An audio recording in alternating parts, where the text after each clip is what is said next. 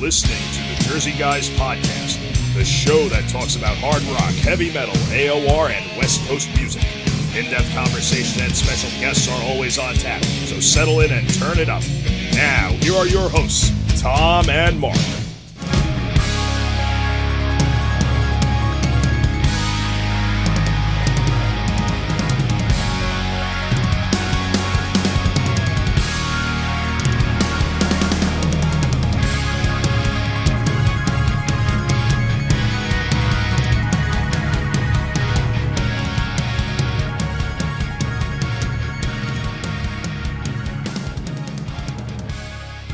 Hey, everybody, this is Mark Ballo from the Jersey Guys podcast. I'm here with my co host Tom Coyne, as always. And today we've got special guest Danny Martinez from the band Caught in the Act and Guild of Ages.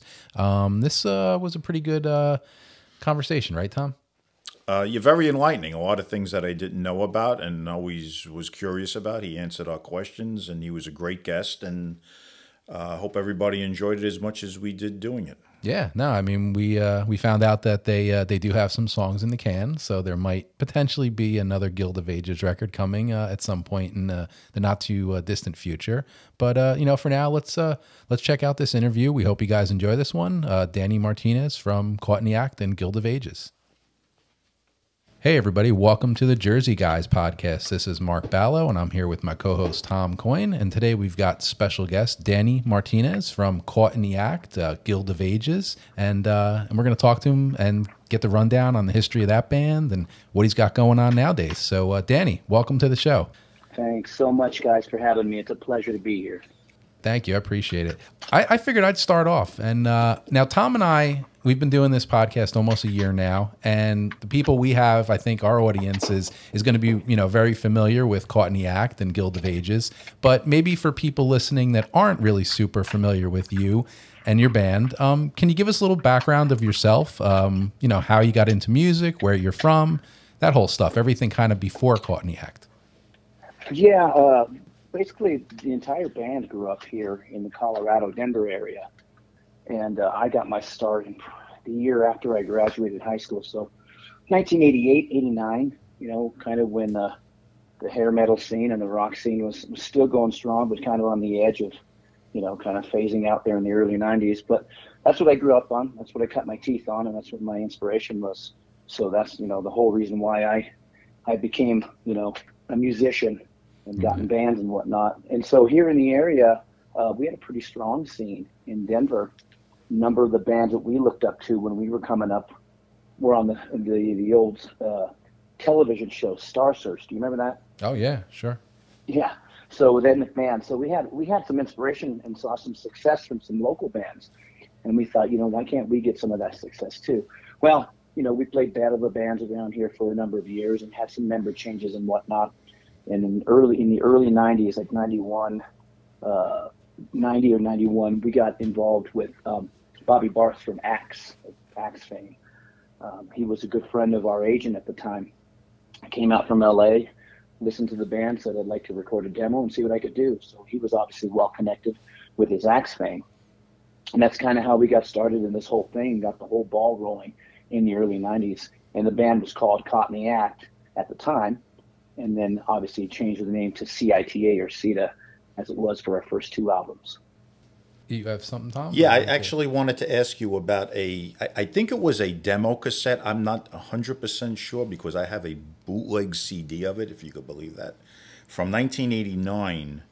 It was a eight song, I guess a cassette called Caught in the Act, which songs like Bedroom Eyes, Hold On, which is a great song, uh, Caught in the Act, Girl Gone Bad, and it was pretty much a different lineup other than yourself before Caught in the Act uh, came to fruition. If you could tell us a little bit about that cassette and how that all came about.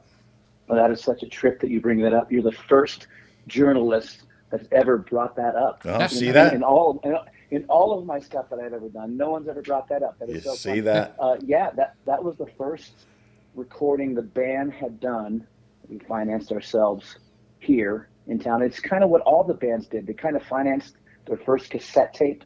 This is obviously before the you know the production of CDs that that that a band could do themselves. Cassette tapes was the cheapest way to go to get your music out. Right. And so, you know, we, we did the artwork on the whole thing, and and uh, at, at the at the time, Warrant was huge, Poison was huge. So, if you look at the photo in the inner sleeve, you can tell that we were influenced by all that with our clothing and whatnot. Um, and we we put that together. Uh, yeah, that that probably four of those songs were existing already when I joined this lineup, and then we put about four more songs together and put this cassette tape together.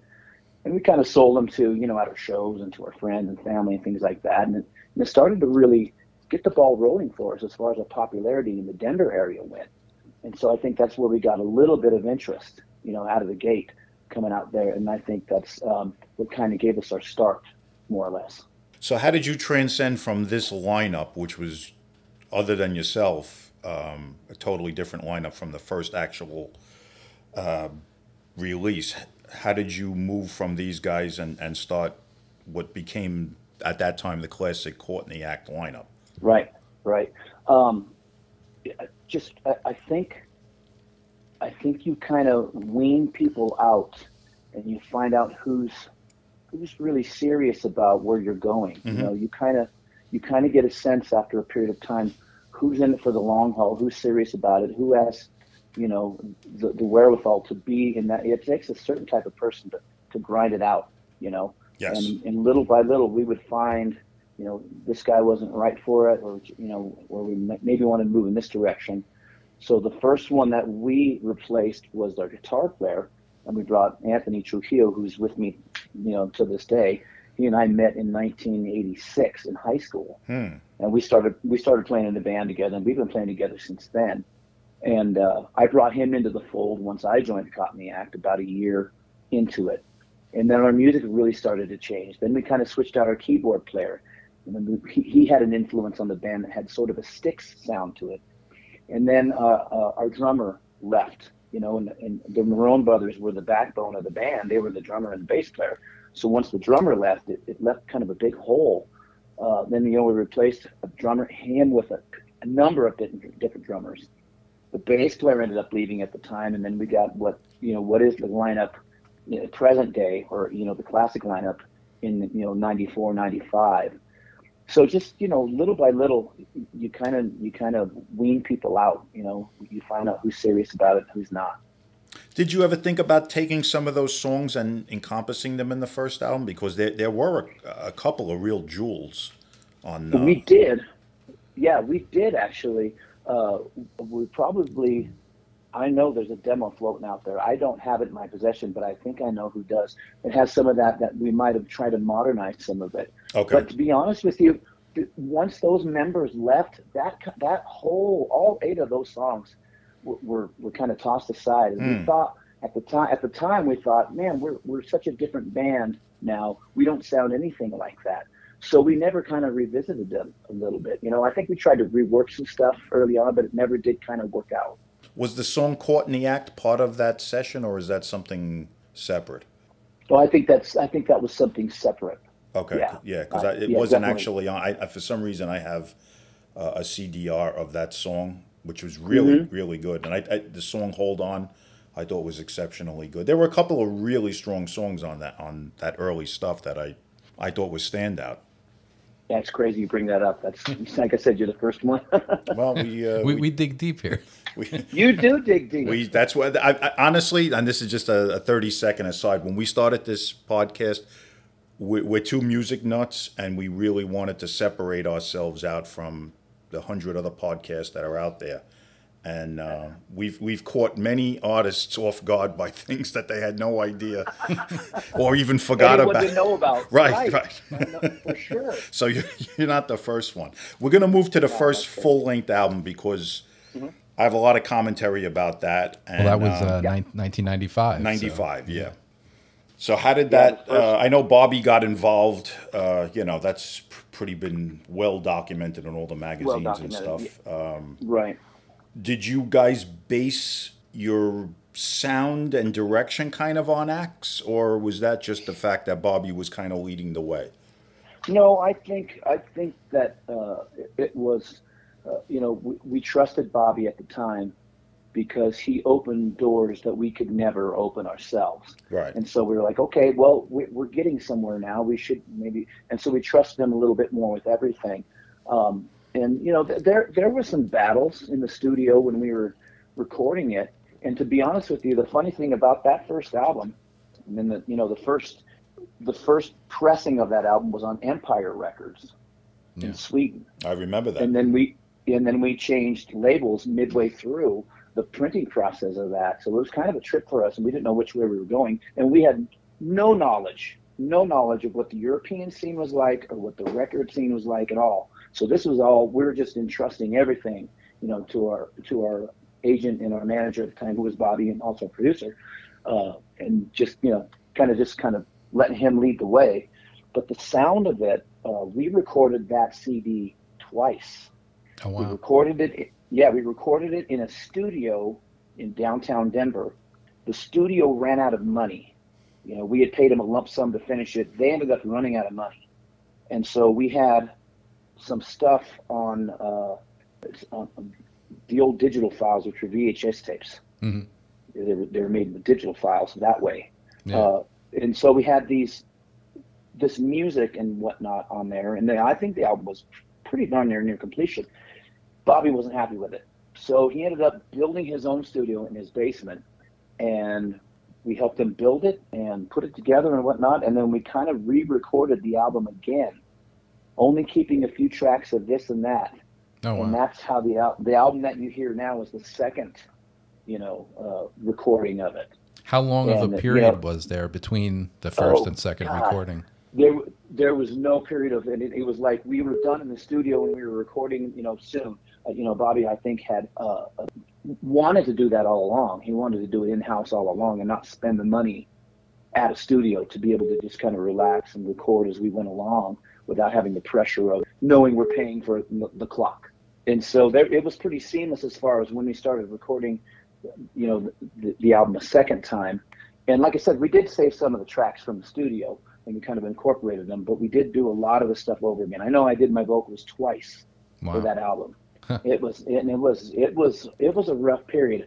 Uh, it it made me it made me not want to record again because it was just such a grind, and I it, there was no more fun in recording to me. It was like, man, I just want to get this done. Well, So how- when I listened back, go ahead. Yeah, no, I was going to say how long of a period because I mean, obviously the Tom talked about the demo cassette that you guys put out was was Yeah. in 1989. Um, the first Right. album doesn't hit till 1995, so we're talking like a five Right. six year period. How did So- were songs written um, for what was going to be an album uh, many years before, or were they just after you met Bobby? You know what? There was a period of time, and we have demos on all that stuff of of a lot of music that we recorded with different lineups Ah, and written and recorded. And uh, Anthony on guitar is notorious. He remembers all that stuff. I couldn't even tell you, but he remembers all that stuff. And he'll, in between songs here and there, he'll just start this riff and he say, "You don't remember that song?" I'll say, "No." he goes, "Oh, it's this song," and I'm like, "Oh my God, you're kidding me." Yeah, I remember that song now. So there was there was a number of, of tracks that, that we had written uh, in between that that particular cassette tape and the first Cotton rec, uh, uh, the CD we Yeah. done. oh, wow. So you know of of that stuff, I know I know some of it was demoed to be on the fir- but it never made the cut. Mm. It- Bobby didn't Bobby didn't feel it was strong enough. A lot of that stuff was strong enough to be on on the CD for a debut album, and that's why you'll see on there there was a there's some songs that you know a couple of axe covers that we did. yeah, Uh, there's there's there's some other stuff that other people had written. You know, uh, Bobby had written himself, like No Heroes, uh, Two Hearts on Fire, um, Great things like that. Uh, yeah, great songs that you know Great we were like, I was like, wow. Yeah. And so you know that he was like, I just want the debut to be strong, and he says, I don't, I'm not trying to slight you guys as songwriters, oh, okay. but but I needed to be strong out of the gate so that you guys. He said that I needed to be strong out of the gate so you guys can have a career. Yeah, well, especially that at that makes time. I mean, it was like, Yes. a, yeah, you needed something like that to, to kind of get people's attention. Right, right, exactly. Well, it was it was the album that I called the savior of melodic rock at the time. Oh yeah, Um, there was it was to me vintage late '80s uh, melodic hard rock at its best, and it was a treat to all of us fans in the middle '90s to uh, stumble upon this this giant of a record. And to this day, I think it's has stood up 110 percent as as good as the first time I heard it, 25 Wow. plus years later. That's great to hear. That's Yeah. awesome. And um, That's awesome. What I want, what I wanted to ask you about this record also was um, when you guys were recording it. And now, now again, we're talking middle '90s, and I don't even want to rehash what the middle '90s were like in the states. Did you feel that this was going to have an impact, and if you was going to have an impact, where did you think it would have an impact? Were you kind of sold on it was a European market, or what was your thought process in the whole recording of this in 1995? It it, it, was. Uh, I think we had never been to Europe before, so we didn't know what that scene was like. You know, so we we would we would go on the road as a cover band here to make a living. So we'd play six, five, six nighters, and we travel the Western United States just making money, trying to survive. And we would write these songs in these places we'd stop, you know, Casper, Wyoming, uh, Boise, Idaho. You know, we would write the, the songs for what would be our first two records, not knowing who's hearing them, not knowing who what kind of impact it would be. We were just writing songs because we knew there was a deadline and we knew we loved what we did. And so we had no thought other than, you know, the, the next road trip or, you know, even even even that show that night. So we had no foresight to know anything about that. We didn't really understand the impact of any of it until we went on our first European tour when we went and supported Pink Cream 69 on one of their tours. Mm. It's a whole different scene than the states, especially what the states were in, in that the time, '90s, yeah. because you were Right. kind of if you weren't really plugged into this, you were kind of led to believe that this music was done. But if you Yes. were plugged into it, you realized it wasn't done, and it was still pretty vibrant in, in Europe, very vibrant in, in Brazil, Japan, other places. I, I know you guys got signed to Zero Records in uh, in Japan Yeah. at the time, which uh, remember Yep. Burrn magazine gave you as a phenomenal review. So the album did really take off outside of the states for that time. I thought very well. Were you guys pleased with how well it did? Oh, we were ecstatic. We couldn't believe it. Um, and I, you know, to be honest with you, uh, the most surprised out of anyone was Bobby. Bobby was shocked. Really? He was like, "Oh, this this thing is kind of taken off for you guys. Nice. This might open some doors." And we thought, "Okay." So we got excited, and then and then we started doing press for the first CD, and I was doing interviews, uh, and it was it was my as a young boy growing up reading, you know, a Hit Parader magazine or Creem magazine and having all the posters on my wall. Mhm. I had practiced my autograph a million times. I, I was going to be a rock star if it killed me. You know what I mean? Yeah. Yes. And so the first the first time I did an interview with a with a magazine in Europe, whatnot, I was ecstatic. And then I did another, and then another, and then another, and then another, and then I started to think, man, this is taking off. Meanwhile, I got to get ready for a cover gig at the bar at six o'clock. You know what I mean? Right. It's a, it was right. a You're juggling because, two know, different it- worlds, right? And we've heard two- this from two completely different worlds. right a lot crazy. of different musicians of, of from the states that had the same success you guys had. That you went over there and you were a star, and you came home and you weren't a star. Right. Right. Yeah. I, I was. Yeah. Yeah. Exactly. Yeah. Now, at this point, you were signed to. I, I, I know you, it came out in Zero, which was a big deal back in, to get a Japanese deal, and you were on Empire. And where did it go from Empire? Did it go straight to MTM? Yeah, from Empire went straight to MTM, but that's because uh, a third of the owner of MTM was with Empire at the time. That's Magnus. So he took us kind, yeah, with Magnus. Sorry. Yeah. He he took us over and said this is a better deal to go there, and it was it ended up being wonderful for us. Well, that was just uh, just a year later. You're now kind of back, and you had that little success, and now you come back in 1996 on MTM, and you got the Heat of Emotion album. Um, how Right. you know how quickly you followed that up pretty quickly there, huh? We, you know, as soon as we had put out the first Caught in the Act record, we started writing with uh, with with the Heat of Emotion record, and uh, we did a lot of road trips and we did a lot of writing on that one. But we set out after having the success that we had on the first CD, we were hell bent on writing our music. We were like, uh, you know, we were really adamant about putting our, you know, kind of stamp on right. it. hmm We didn't we didn't want people to think that you know we were just covering a bunch of songs and we weren't songwriters. We were like, we've been doing this too long now, and so uh, the success of the Heat of Emotion album is really, really satisfying and gratifying to us. You know, because we knew what what we put into that one. Uh, it's it's a it's a really good follow up to the to the, the debut. I thought it was pretty much on par with it. Yeah, the, the songwriting, definitely. maybe a tick even, even maybe even a there. tick even better. Yeah. I mean, if possible, but it, it was, and I, I think maybe as much as Bobby did for you guys, I think that you needed to get out from underneath the stigma of the axe like uh, label because I, I I knew, you know, even from talking back in the day and even talking recently, there there were certain people that felt like, oh, you know, like, oh yeah, yeah, you know, it was Bobby Bar- Barth's band and that was his baby, and you know, I, I guess this Sure. this sophomore effort you needed to kind of show that that wasn't totally the case. Yeah, we wanted to, and that was that was strictly by design, because we wanted n- not so much out of the shadow. We just wanted to let everyone know that we, we could, as well, you know, put out something that, that everyone would enjoy. Right. Now, my next question is something you rarely see with a successful band is a name change. And what led to Caught in the Act to Guild of Ages? Oh boy, that's tough, and that's that's where it all took a turn. It all took a turn when we had to change the name. So we had the name Caught in the Act, or CETA as we put it, C-I-T-A. And then right after the Heat of Emotion album came out, we went on tour with Pink Cream 69, and we were out in Europe. Well, uh, despite you know the music not being as mainstream, you know, as you might think.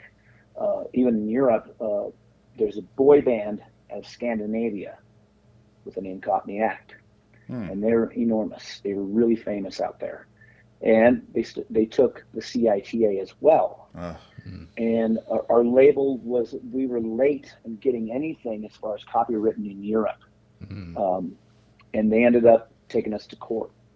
Yeah. So they got they got a lot of money and a lot of powerful lawyers, and they won the suit against us. So we were forced to change the name. So if you look at the ascension of you know the, the sales on our first album, the sales on Heat of Emotion, the second album, and then when we put out the next album called entitled One, cut completely in half. And so it was like everybody knew who we were, everybody knew who we were, and then it was like we don't we know where they went. Where'd this band go? Mm. And it was in the days before social media or you know uh, widespread internet access. So we tried to get the word out as best we could, but it, it really failed. It Yeah. really failed. Yeah, you're right. And, What do you um, what do you do when you say before the whole internet thing and took off? It's like how do you get the word out, right?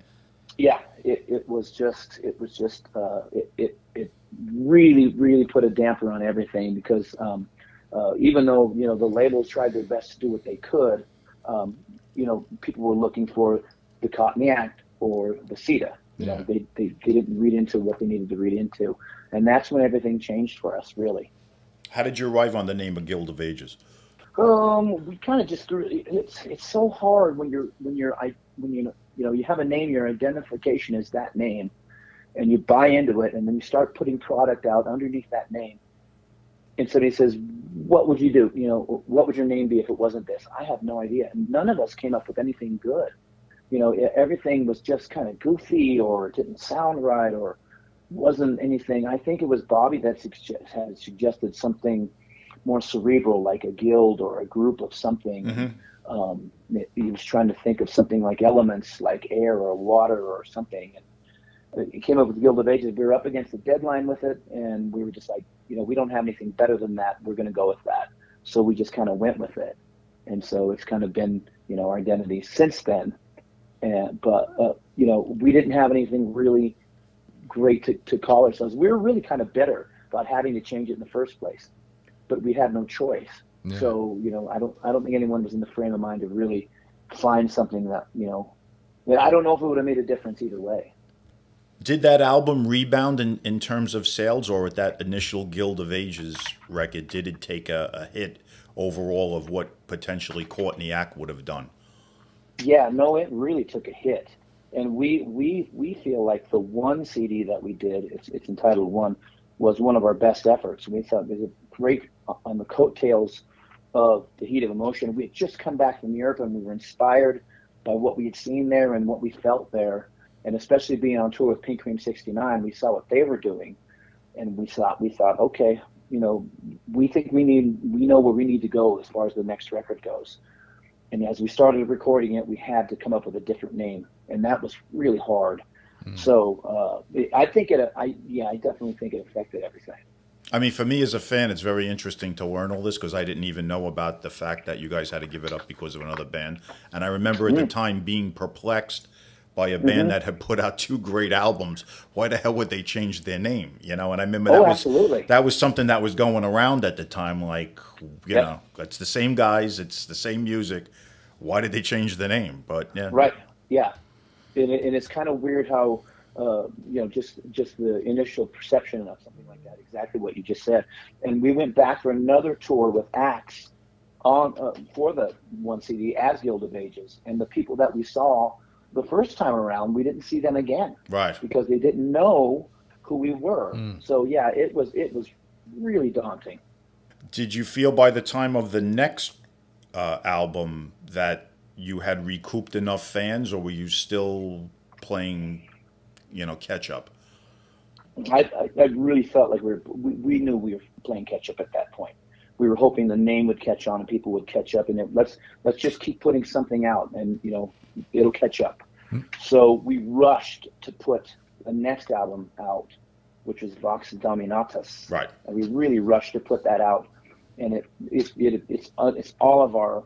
Nobody likes that CD. everyone knows it's rushed, and everyone knows we just kind of put it together to get it out there, to get the name out there again. And so it's our least favorite collection of songs that we've done. Were you guys touring at the time um, in Europe? Yeah, yeah, we toured on that first one, and then we were going to go back for Vox, and uh, the record sales weren't strong enough to bring us back over. And so we really felt the pinch at that point, and we thought, man, things are really slipping. So we need to make the last record. You know, what ended up being our last record, we didn't know at the time it'd be our last one. We need to make that one strong again. And so we, you know, we ended up did end up putting up the Citadel album. Yeah, so that, that's 2001, and that's the 2001. Yeah, and it's Citadel. So yeah, talk a little bit about that. And that's the one. I, you know, that's probably uh, my favorite CD of all of them. Really? Um, okay. I I liked the production on it. Um, we got to take some chances that we weren't quite a, we weren't I don't want to say allowed to do. We had a lot more freedom as far as um, recording artists, so to speak, at the time in the studio. Bobby at the same time was recording an Axe album, so he didn't micromanage us like he had on the on the earlier stuff. And so we had a lot more freedom uh, to kind of produce some things a little bit and whatnot. And so I guess from a from a um, you know from a personal standpoint, it's it's one of my favorites. Um, and I just think that it's it's interesting because you always look back and you can always chronicle as a musician, and as a songwriter, what was going on in your life at that particular time. You know, you look at the copyright date on the album and you, you read the lyrics and you listen to it and you're like, ah, yeah, I remember what was going on at that time. And it was kind of a dark period, you know, in my life and whatnot. And, and as, a, as an artist, you, you, you put it out there in, in music form and, and hope it, it evokes emotion from other people too. So, excuse me, it was interesting. And that's, that's probably my favorite. Hmm. of all of them. It, it is a strong probably, album, especially the first the first couple of songs out of the chute are really really strong. Yeah, right. Yeah, I, I like it a lot. So I mean, and, and it's probably for those reasons more than anything. Now, at this really point, did, did you guys rec- did you finally recoup where you were with the first two caught in caught in the acts? was the band back on its feet in terms of popularity? In terms of popularity, no no, and I know I, I know that we had made a really hard push with that one to get it done and to try and make something out of it. And then you figure from 1994, from the first album until 2001, how much the musical landscape had changed yeah, at that point. And we're trying to, we're just trying to tread water at that point. We got some early success, but trying to, you know, get that success back. And now it's 2001. and You put something out there, and you know you look around at what was going on at the time, and it and it was it was really really different at that point. So we never never did get back to that. But it's funny that uh, you know uh, years later, you know everyone talks about the first two CDs, and I I really understand it, and I, I, I get it now looking back many years later. Now, at this point, did you guys, obviously, it's like a 13 year hiatus until the next album, mm-hmm. which we're going to talk mm-hmm. about in, in depth. Did you put it on ice with the intentions of starting it up at another point, or was it put down and resurrected out of the blue? Yeah, it was put down and resurrected kind of out of the blue years later. We recorded the Citadel album, and then Anthony uh, uh, ended up having twins with his wife at the time. They had twin boys, and so his life changed drastically. And uh, he had to decide whether it was he wanted to continue on as a musician, or if he needed to, you know, make a decision financially, you know, to take care of his family. And that, and that's what he ultimately did. Is he has he ended up just having to stop play guitar and go nine to five it, you know. Mm. And he moved to moved to Ohio and nine to five it there and whatnot. And, and it was heartbreaking for me knowing him since 1986, and all he ever wanted to do was play guitar. And so, but but I but I, I understood, you know, I understood. I he had to make that. That was a tough decision for him, and I'm sure he you know he thought about it at length. But he ultimately had to make the decision, and we thought we'd we'd go ahead and, and try this new guitar player and and try writing with him and, and figuring it out. And it just never did click. It never had the chemistry that it did with, you know, James on, on bass guitar, Steve on drums, me on vocals, and Ants on guitar. It never did have that same chemistry. And so we knew that we could never put anything out under the name, you know, Caught in the Act Guild of Ages again without Anthony writing, you know, the guitar parts or the music to it.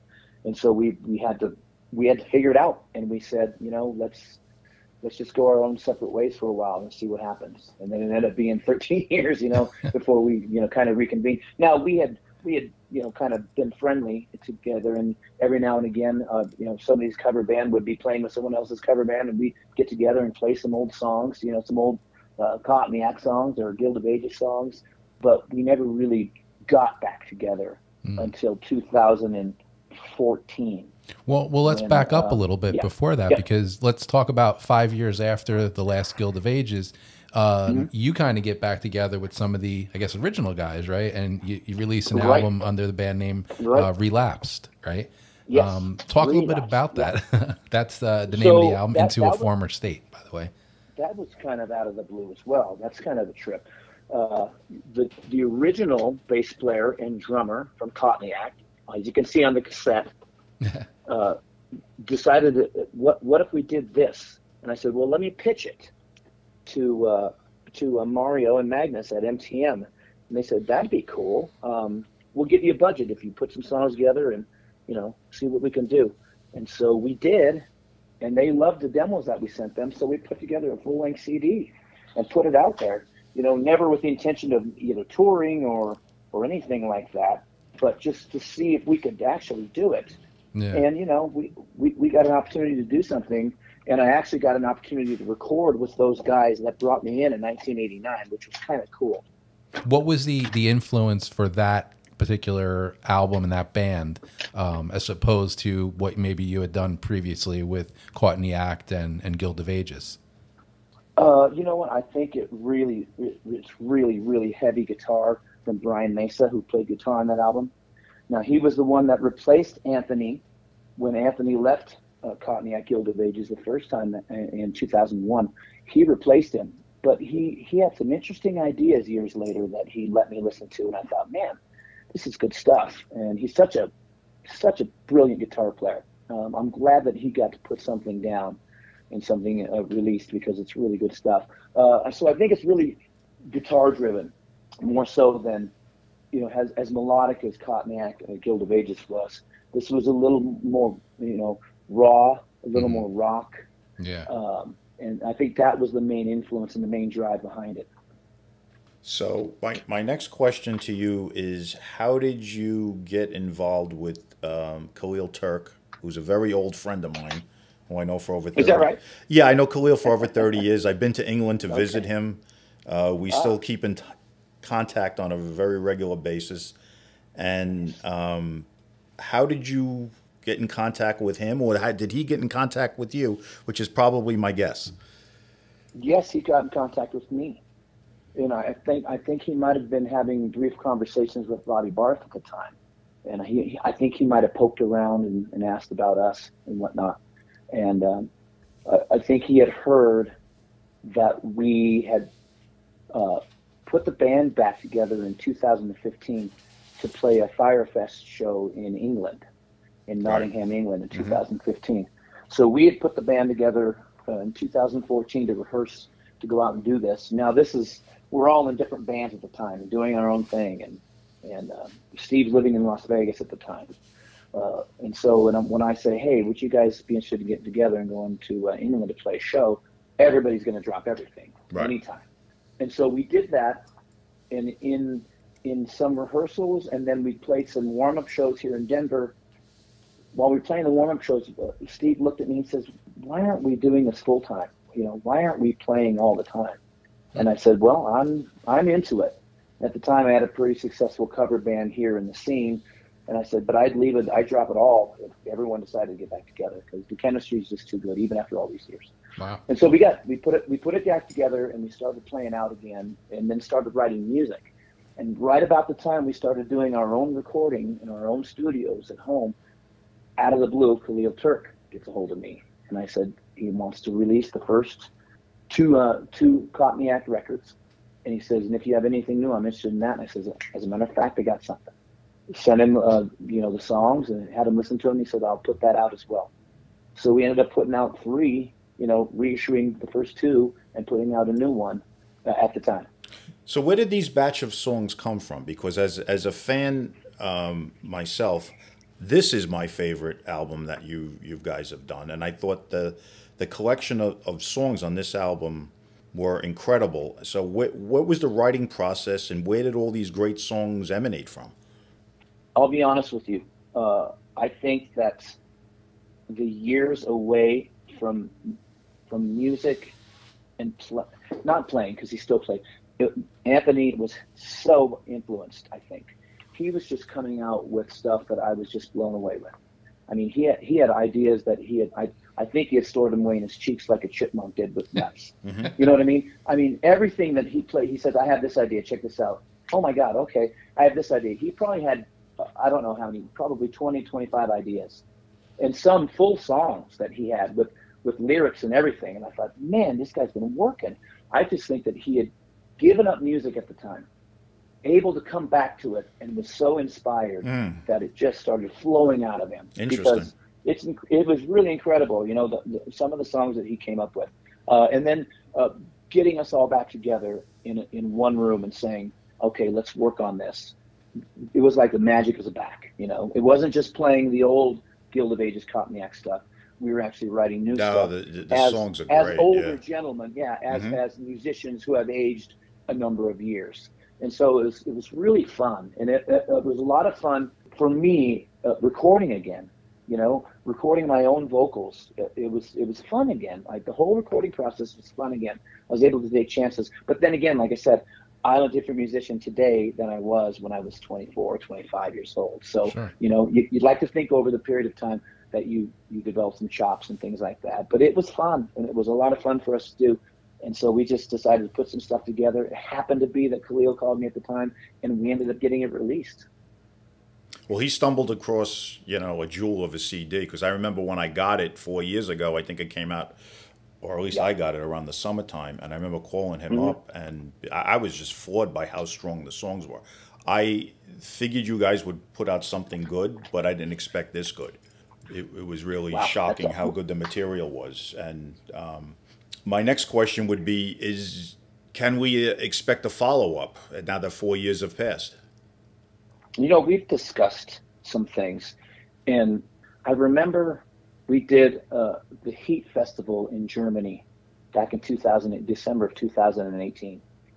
And I talked to the promoter, and he said, um, you know, I can't guarantee you that you'll get paid like you got paid for this gig. He says, but I could probably get you on tour. And I said, uh, you know, to push the record, we, we're not looking to get rich here. I mean, if you put us in front of some fans, this is, you know, not only nostalgic for us, but it's fun for us to go out to Europe and play shows. Mm. I said, you, you wouldn't have to pay us a whole lot. We could negotiate that. So we talked about it. He said, okay, I'm very interested. He got back to me probably six months later and just, you know, he said, I don't think there's a strong enough market for you guys out in Europe right now. Mm-hmm. And it really, really, really devastated me at the time. And I remember Ants, Ants has, has, he was working on ideas and he probably had six to eight new, new songs ready to go. And I said, man, what are we doing? You know, does, does anybody even appreciate it anymore? I don't know. You know, we just headlined the, the last night at Heat Festival. I thought it was a high for us and then to get the news that it, it's probably not strong enough to draw out here, so we can't bring you out. Mm. When you know we had offered to pay, we had offered to basically pay half of our own way to go out there. We just wanted to play in front of a European crowd again. And so we were. I was really, really depressed by it, and I'm like, man, what are we doing? You know, what's the point here? Whatnot. But recently, we've talked about um, putting something together, and you know, maybe just trying again, maybe just throwing it out there again. And but listening to you guys talk about it now, it's kind of inspiring, uh, knowing that uh, people are actually out there listening to it. So um, it's something we've talked about, uh, and I know that there's there's there's demos right now that we got ready to go. You know what I mean? It wouldn't take much to get something brewing and happening, you know, immediately. Has there been any uh, any uh, contact from Khalil about about it, or is it just something that he's kind of no, left you alone? Never, we've never had any any any more uh, interest as far as Khalil goes, and so I've kind of poked around a little bit. There's a couple of small independent labels based out of Germany who are who are always interested in anything we have to do. Mm-hmm. So I know that we can get you know distribution and things like that uh, in Europe. Um, sure. So that's not it. I just you know I, I want to know if it's gonna you know if you know if people are gonna and I know my core audience that I that I love in Germany and Japan and Belgium and things like that would love it. Yes. You know, I just want it's sometimes as a, as a musician, you're like, I, I want to know if I'm going to put it all into somebody's going to hear it on the other end. You know what I mean? Yeah. So you guys actually have material that's at least half of an album's worth of material. Oh yeah, for sure. Oh yeah, we do. I'll, I'll call yeah, Khalil, I'll call Khalil tomorrow. oh, okay. okay. I'll okay. be on the phone with yeah. him tomorrow. yeah, we got uh, you know we could definitely put something out. It, it wouldn't take long to put something out. Interesting. So tell us about what you're doing. I know you're in a very busy uh, band of your own. It's been hard to pin you down, but we've hung in there and we got you. So tell us why you're so busy and what you're doing. It's it's Guild of Ages. It's Guild of Ages, the cover band yeah. that makes a living playing cover tunes. right. I knew I knew Ants was in the band. I seen pictures of him yeah. with you. Yeah. So we're uh, we're all the same guys and we're getting ready to do the uh, big Sturgis rally. We do it every year. Oh, that's great. At One Eye Jack, One Eye Jack Saloon. We do seven nights there. That's cool. Um, so it's kind of it's kind of fun in Sturgis because we do sneak in some original material there, and we got some people who do like our stuff. So mm-hmm. you know the li- the limited product that we do have, we do sell there. Uh, but we do we play. It's a full time job. Is uh, this called Guild of Ages? Yeah, it's, it's called Guild of Ages. Oh yeah. wow! And so it's funny because nothing's really changed. You know, in the '90s, we were on the road doing the cover thing to make a living, while putting out albums in Europe yeah. and touring occasionally. it's the same thing now. We're still doing the cover thing to make a living. Yeah. Uh, and you know, putting out albums when we can. So nothing's really changed that much. Although um, uh, Anthony and I are able to play music for a living. He and I have an acoustic duo thing that we do here in town. That's that's pretty successful. But we do anywhere between uh, you know, five, seven shows a week. Wow. So he moved. Yeah. He moved. Evidently, moved back to where where you are. Yeah, yeah. He moved back a while ago. So he had, he had been involved in some bands around town and whatnot before we had gotten back together. Interesting. I, I didn't know you called it Guild of Ages. That that's really cool. So it's, yeah. ba- it's basically the band. Uh, so your chop, your, your live chops have to be super sharp uh, with all the playing. We're we're we are sharp as as attack. I'll tell you that, and that's why we were so looking forward to getting a European tour because we were like we had just put the band back together to play that that show at Firefest, and we were like, man, we were rusty. Can you imagine what it would be like now? Right. You know, that's after what I'm saying. Yeah. Seven seven years of playing year round and wow. traveling. So you know we're ready at any and you know we'll, we'll throw together. We we got our uh, you know our show ready to go whenever it needs to go. Well, go back to that for talk about the Firefest show. You guys hadn't been active for many years. Um, you get that call to kind of do the show. You get back together. You, you know, you say you're kind of rusty, but what was I, I know Tom and I have talked to some other guys we've had on the podcast, and they've also played Firefest. And so, talk about that experience of what it was like coming back after all those years to to play at a show like Firefest, where I, I know, and I've never been to one, but I know the crowds are just so passionate. Unbelievable. Uh, unlike anything that we had experienced before, even excuse me, even touring Europe before that. Um, we had never experienced anything like that before. What the community of people that get together for the Firefest show are, like you said, are passionate. They know every band. They know everything about you. And um, mm. they, you know, to be off for 13 years and come back together, or however long it was, um, for them to be, you know, rooting for you the way that they were, or, or anticipating your show, was just a trip, man. It was it was so cool. And the community of people that put it on, all voluntarily put it on, but make you feel like a, a rock star. It didn't matter which band you were in, if you're headlining or you're opening that day, they made you feel like a rock star, whatever yeah. you needed. Yep. Yeah, and that's. I'll take. I'll take. Uh, it's amazing. And so after our performance, we got an ovation like crazy. A lot of people said I had never seen Caught in the Act Guild of Ages before, and mm-hmm. I didn't expect that. Wow. But what we got was amazing. And so we go into the next room to sign autographs and sign CDs, and there's a line going out the door, and we're thinking, what the heck is going on here? Again, Monday morning we were, you know, in a cover band in Colorado. and, you know, by the weekend we got a line of people waiting for your autograph. It's just sensory overload for us. But it was it was an amazing experience, and it really, really inspired and kickstarted. And that's that's kind of the inspiration that you hear on the Rise CD that we did. Mm, okay. Yeah, you know, I mean, it's great because it's a shame that that festival is not around anymore. But I mean, I've heard the stories that you just talked about, and I've heard that from other guys that have played it, and and it's just I can only imagine what it would have been like to, to be at one of those shows because I've seen the little clips and the little DVDs they've put right. out over the years with different bands right. and stuff. But yeah. everybody has yeah. that same reaction. They just said it's like an unbelievable experience. It really is. It's it was just you know indescribable, uh, euphoric almost. You know. Yeah. Well, um, Danny, hey, uh, Tom and I really appreciate this talk tonight. Um, it was great catching up with you.